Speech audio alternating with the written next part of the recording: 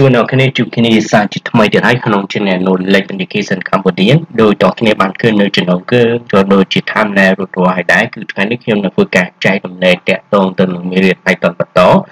ហើយចំណុចដែលខ្ញុំនឹងធ្វើការបង្ហាញគឺតាក់ទងទៅនឹងការអឺ cell របស់យើងនិយាយថាយើងទៅសេ system ដើម្បីឲ្យ record រូបរបស់យើងដោយអូតូតាមរយៈកាមេរ៉ានិងបន្តក្រោយ មេរៀនមុនគឺយើងគ្រាន់តែយើងចង់ថតគឺយើងចុច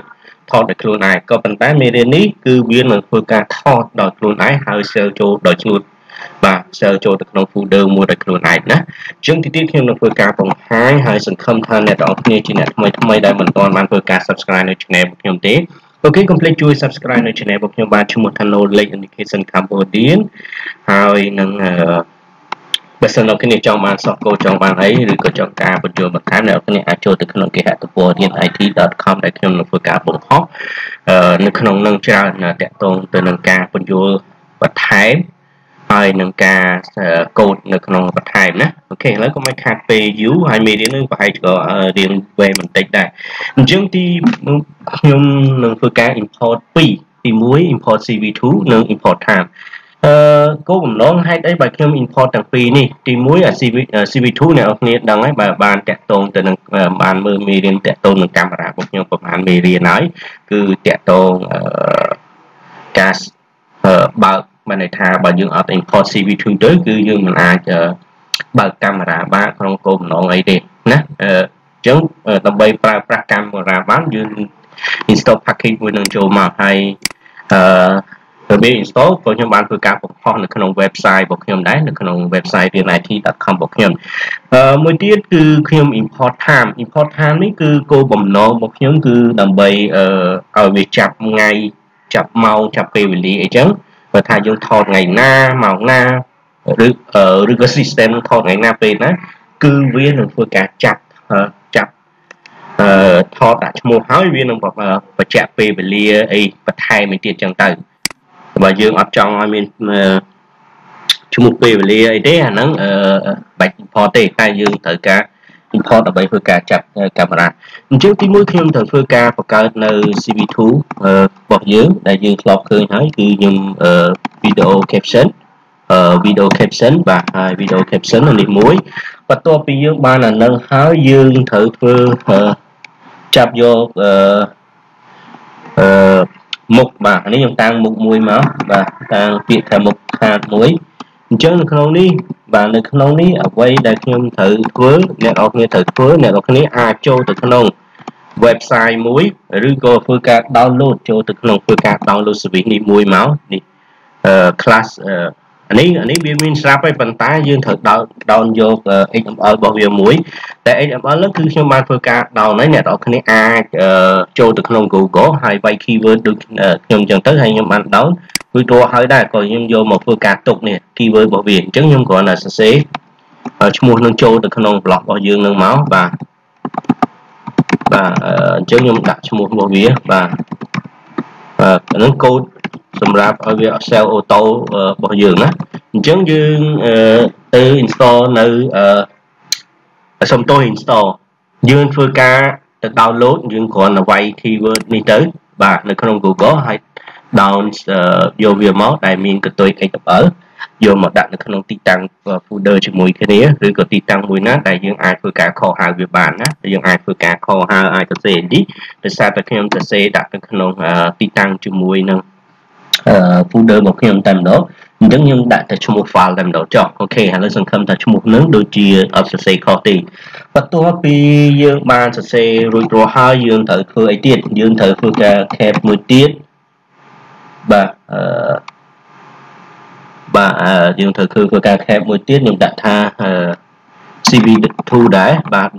.video caption បាទ video caption ខ្ញុំដាក់0ប៉ុន្តែលើកនេះខ្ញុំតាំងដោយ cap CO CAP មួយទៀត cap ណាអញ្ចឹងវានឹងធ្វើការខុសគ្នាវាធ្វើការខុសគ្នាបន្តិចទី1គឺចាប់យករូបភាពទី2វាបើកកាមេរ៉ាអញ្ចឹងទេអូខេអញ្ចឹងសង្ឃឹមថាអ្នកនរគ្នា down នេះសិនណាទៅ down នៅក្នុង Google មកបាទ complete បើសិនចង់ធ្វើអាហ្នឹងណាអូខេបន្ទាប់ពីយើងបានធ្វើការ down service នឹងរួចហើយវាយយ៉ាងរួចហើយបន្ទាប់មកយើងតាំង account មួយហើយទៅបានខ្ញុំធ្វើការតាំង account ហ្នឹងពីព្រោះខ្ញុំចង់ឲ្យវាចាប់រូបភាពបើន័យថាសំទោសមិនវានឹងចងចាំរូបភាពដែលវា sell មានន័យថាពេលដែលយើង sell វាមួយ វានឹង record ទុកមួយមួយមួយ2 3ឡើងតាមលំដាប់លំដោយអញ្ចឹងទៅដើម្បីវាយកឈ្មោះអូខេនេះជារូបភាពទី1នេះជារូបភាពទី2នេះជារូបភាពទី3អញ្ចឹងទៅទើបខ្ញុំតាំងពាក្យថា count នេះដើម្បីចាប់យករូបភាពបន្ទាប់មកទៀតខ្ញុំធ្វើការដាក់ while loop មួយយើងដាក់ while loop បាទដែលអ្នកគ្នាតែឃើញហើយអញ្ចឹង while loop នៅក្នុង while loop នេះយើងត្រូវតាំងបាទខ្ញុំចាប់សរសេរឲ្យបានរូបភាពមួយសិនអញ្ចឹងខ្ញុំដាក់ថា img តាំងដោយ imc ស្មើនឹងបាទអឺ dot red បាទ dot red អឺ red ក្លប់ red ជាស្រេចបាទអឺ red បាទបន្ទាប់ពី red នឹងហើយខ្ញុំចាប់ដើមធ្វើការអឺចាប់យកអឺខ្ញុំចង់បានគូសរូបទៅលើរូបភាពមានន័យថារូបរបស់យើងកន្លែងណាគូទៅមុខមានន័យថាចាប់យកពាក់កណ្ដាលមុខដូចថាអឺ មេរៀនតាក់ទងកាមេរ៉ា focus focus កម្មសកម្មភាពយើងអញ្ចឹងខ្ញុំត្រូវធ្វើការ design អានឹងមួយមកខ្ញុំចង់បានបើអត់ចង់អ្នកគ្នាចង់បានអានឹងទេគឺតាមអ្នកគ្នាណាតែខ្ញុំចង់បានឲ្យអ្នកគ្នាយល់អញ្ចឹងខ្ញុំ design នឹងមួយហើយខ្ញុំដាក់ថា CV color បាទ CV key color បន្ទាប់មកខ្ញុំចាប់ដើមយកឈ្មោះដែលយើងតាំងខាងលើ img បាទដាក់ចូលឲ្យវារីកចូលទៅក្នុងនោះបន្ទាប់មកខ្ញុំ ខ្ញុំតាំង CV2 ហើយ color បាទ color អឺយកអឺ underscore RGB ឯ RGB មិន RGB ចុះឈ្មោះវានេះបាទ RGB to red ហ្នឹងណាអូខេបន្ទាប់ពីខ្ញុំបានអានឹងហើយខ្ញុំនឹងធ្វើការអឺយករូបភាពនឹងយកមកដាក់នៅក្នុងអាពេលដែលវាថតវានឹងអឺ វាពេលវាថតគឺវាចាប់ដើមអឺវានឹងធ្វើការចាប់យកអឺគូសរូបនៅកន្លែងរបស់យើងពេលឃើញមុខយើងវាគូសទៅកន្លែងមុខយើងតែម្ដងអញ្ចឹងខ្ញុំអឺមុខរបស់យើងយើងក៏តាំងខាងលើហើយដែរវានឹងធ្វើការចាប់យើងខ្ញុំដាក់នេះចូលមកអ្វីដែលយើងតាំងខាងលើហើយសិតតែជាកូដដែលគេសរសេរហើយអញ្ចឹងយើងគ្រាន់តែយកកូដគេយកមកប្រើណា អញ្ចឹងបន្ទាប់មកទៀតអ្វីដែលយើងត្រូវធ្វើបាទអ្វីដែលយើងត្រូវធ្វើយើងអឺដាក់ដាក់ចូលបាទ delete mathi mathi អូខេបាទអញ្ចឹងសកម្មភាពណាអឺដដែលដដែលឬក៏អីហ្នឹងគឺវាថតទេបើតែយើងមានអីមួយផ្លាស់ដូរកាយវិការគឺវាចាប់ដើមធ្វើការថតហើយវានឹងធ្វើការអឺយកអឺ តាមទំហំដែលយើងកំណត់ណាយើងអាចកែទំហំបានកន្លែងនេះអ្នកនរអាចធ្វើការកែទំហំកាតຂະຫນាតຂະຫນាតវាបានទៅតាមអ្វីដែលអ្នកត្រូវការបន្ទាប់មកទៀតយើង for loop មួយបាទយកផ្ទៃ for loop នេះគឺគោលបំណងចាប់យកជ្រុងមុខហ្នឹងតើយកទំហំប្រមាណន័យថាឲ្យវាគូសអាផ្ទៃពណ៌បៃតងវាយើងយកតផ្ទៃគូស វានឹងគូសចាំមើលទីនេះខ្ញុំបើកមើលអញ្ចឹងនៅអ្នកគ្នានឹងឃើញអញ្ចឹងខ្ញុំតាំងដោយ x y ហើយ w កម្ពស់ហើយហ្នឹងដែលអ្នកគ្នាបានមើលមេរៀនចាស់ក៏អាចចូលរហូតទៅដល់មុខមុខហ្នឹងអញ្ចឹងវានឹងធ្វើការចាប់តៃ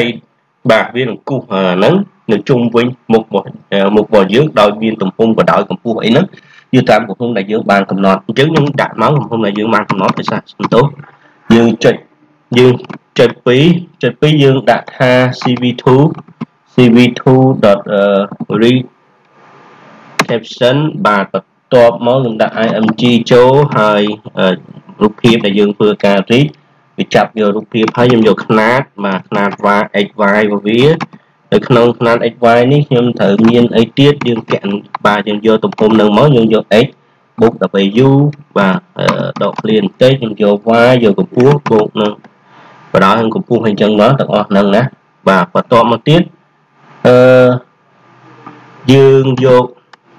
អឺពណ៌នេះពណ៌វាដាក់ពណ៌វាចូលមកបាទអឺ0.0បាទដល់គ្នា design កន្លែងពណ៌ slide ទៅលើរបស់គ្នាដល់គ្នាចង់បានណាអញ្ចឹងអ្នកគ្នាអាចធ្វើទៅតាមនឹងមកបើសិនចង់បានពណ៌ផ្សេង អូខេបន្ទាប់ពីយើងបានប៉ុណ្ណឹងហើយយើងទៅធ្វើទៀតយើងចាប់ដើមឲ្យវាធ្វើការបង្ហាញអញ្ចឹង subscribe នេះមានន័យថាវាចាប់ដើមធ្វើការបើកកាមេរ៉ាឲ្យ IMSO បាទបន្ទាប់ពីយើងបាន design ប៉ុណ្ណឹងហើយគឺវានឹងចាប់ដើមធ្វើការបង្ហាញក៏ប៉ុន្តែបង្ហាញវាអត់ទាន់បានធ្វើការ sale ទេឥឡូវខ្ញុំខ្ញុំតែអ្នកគ្នាមើលបើកចេញអត់ឥឡូវសាក់តែអស់នេះមើលបន្តិចណា អូខេហើយសង្ឃឹមថាអ្នកនរគ្នាអឺនឹងពេញចិត្តនៅវីដេអូរបស់ខ្ញុំហើយនឹង subscribe នៅ channel របស់ខ្ញុំអូខេឥឡូវវាបាទវាបើកកាមេរ៉ាមកហើយអឺអញ្ចឹងវានឹងអឺឃើញបាទវានឹងឃើញរូបរូបរបស់ខ្ញុំអូខេឥឡូវវាអូខេឥឡូវវាអត់ទាន់ឃើញទេអឺដោយសារណាខ្ញុំសុបសិនចុះបាទវាបើកភ្លើងក៏ប៉ុន្តែវាអត់ទាន់សូបាទគេឥឡូវខ្ញុំសូមធ្វើការ stop វាសិនចុះបាទ ហើយខ្ញុំសរសេរបាទអូយើងអត់មាន key បាទអញ្ចឹងយើងអាចយើងអាចថែមអឺអឺ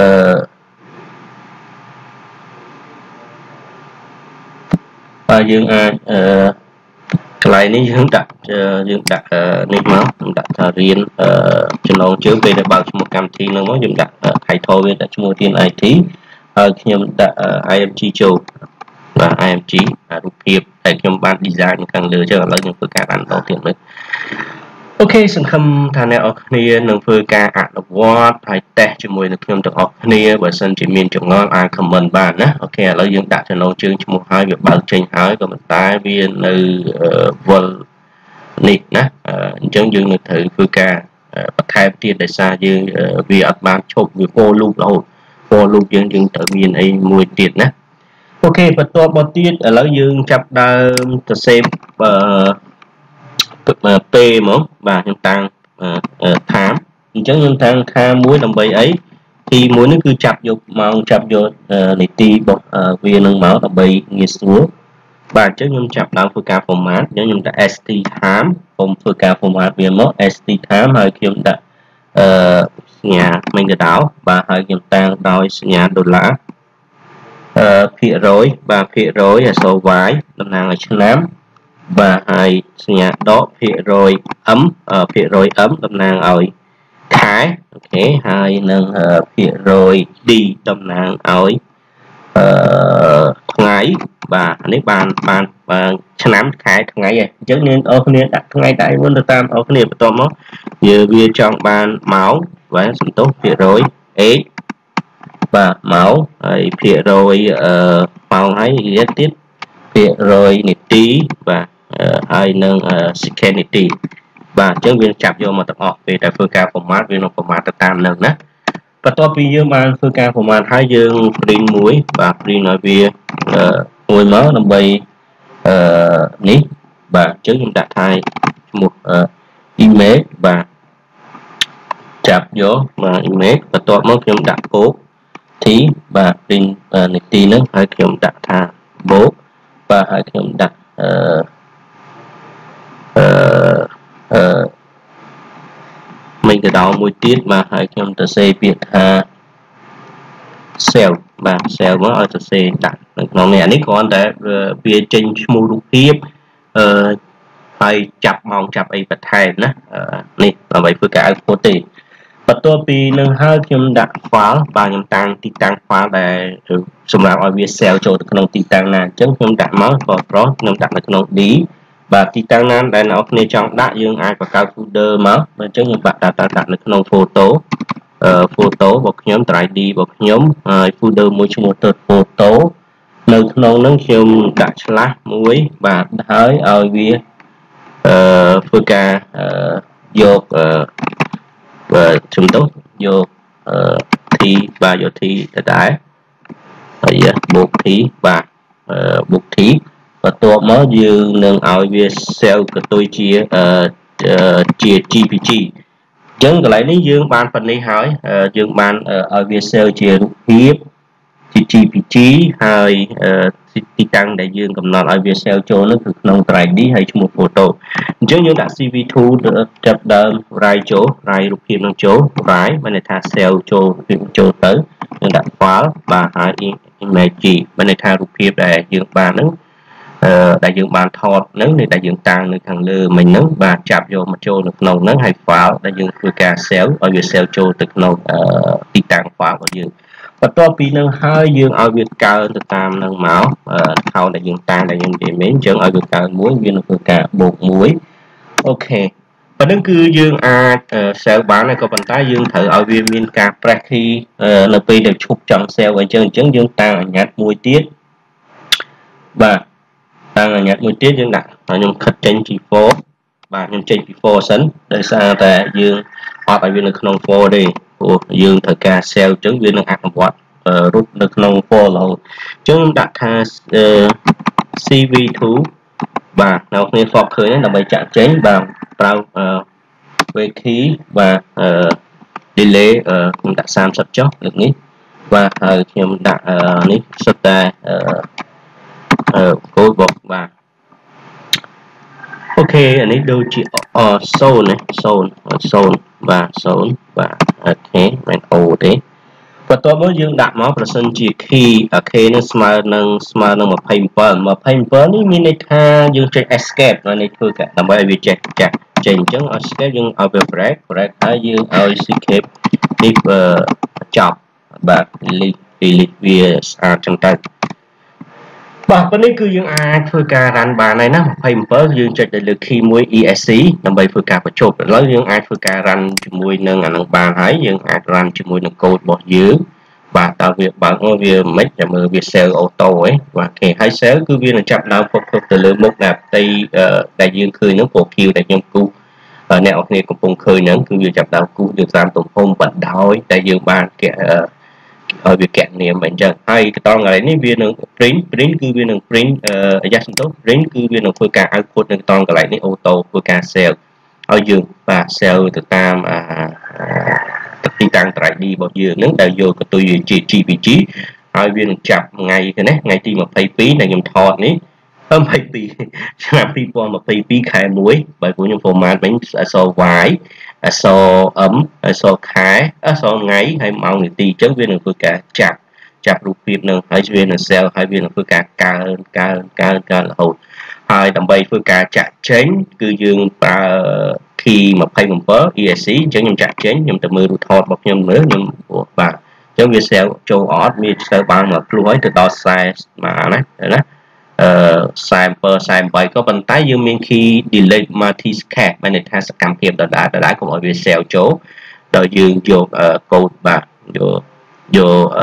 កូដរបស់គេនេះមកហើយអញ្ចឹងវានឹងធ្វើការ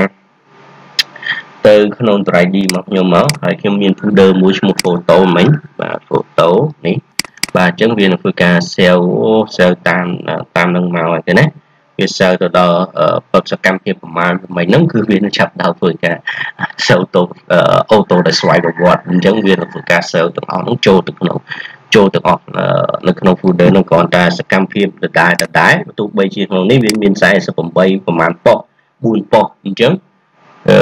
អឺក៏វាធ្វើការ delete ដោយស្វ័យប្រវត្តិដែរគឺដោយសារ multi multi multi scan នេះ ដោយ Mati scan នេះគឺវានឹងអនុវត្តទៅតាមលក្ខខណ្ឌឬក៏កូដរបស់ HTML នេះណាអូខេវានឹងធ្វើការទៅតាមហ្នឹងអូខេអញ្ចឹងមេរៀនតែប៉ុណ្ណឹងតាក់ទងនៅក្នុងសប្តាហ៍ហ្នឹងសង្ឃឹមថាគ្នាជាអ្នកចង់រៀនតាក់ទងនឹង Python ជួយ like ជួយ share ហើយបើមិនទាន់បាន subscribe ទេ អូខេកុំភ្លេចជួយ subscribe នៅ channel របស់ខ្ញុំបាទឈ្មោះថា Knowledge Indication Cambodia នឹងហើយបើសិនជាអ្នកនេះចង់បាននៅខ្សែកូដអ្នកនេះអាចចូលទៅក្នុងគេហទំព័រមួយដែលមានឈ្មោះថា rianit.com អរគុណច្រើនជម្រាបលា